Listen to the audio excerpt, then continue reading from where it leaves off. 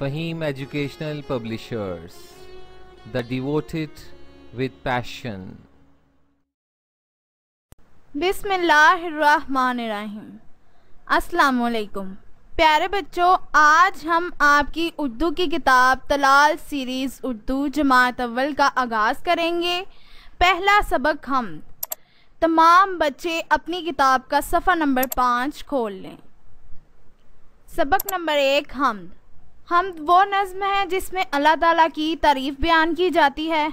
इस हमद में हम अल्लाह की बनाई चीज़ों के बारे में पढ़ेंगे। ये तमाम चीज़ें अल्लाह ताला की अता करदा नेमत है और अल्लाह ताला की शान बयान करती हैं। आइए हमद पढ़ते हैं। ए खुदा ए खुदा, तू है सबसे बड़ा।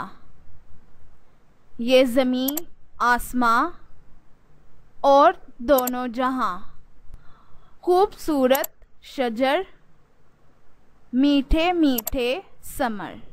फूल की पत्तियाँ, नन्ही सी तितलियाँ।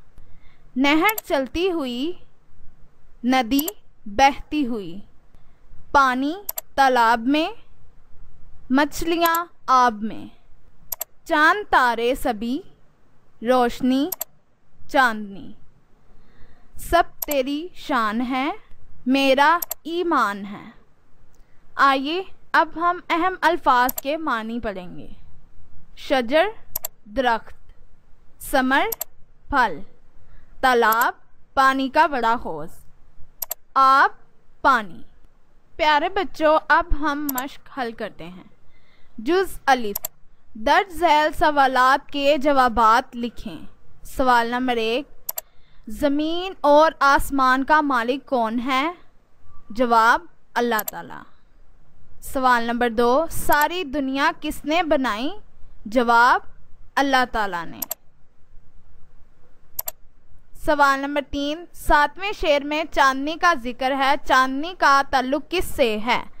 जवाब, चाँद से। जज्बे। मिसाल के मुताबिक वाहद लफ्ज़ को जमा से मिलाएँ। मछली, मछलियाँ। तितली, तितलियाँ।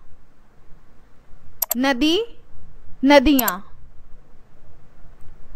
रोशनी, रोशनियाँ। जुज, जीम। मिसाल के मुताबिक हरूफ जोड़कर लफ्ज़ बनाएँ। अलिफ मदा सीन, मीम अलिफ नुन गुन्ना, आसमा। के, वाओ, बे खूब ते, अलिफ, लाम, अलिफ, बे, तालाब। स्वात, वाओ, रे, ते, सूरत। जुजदाल। नज़म में से चार ऐसे लफ्ज़ चुनकर लिखें जिनके आखिर में अलिफ है। नंबर एक खुदा। नंबर दो मेरा। नंबर तीन बड़ा। नंबर चार मीठा। प्यारे बच्चों आपने इस नज़म को ज़ुबानी याद करना है और अपनी क्लास में सुनाना है। अगली दफ़ा हम सबक नंबर दो करेंगे और उसकी मश्क हल करेंगे। तब तक के लिए अल्लाह हाफिज़ You can find us on Facebook, also on YouTube. Subscribe our channel. You can find and follow us on Twitter. Fahim Educational Publishers The Devoted with Passion.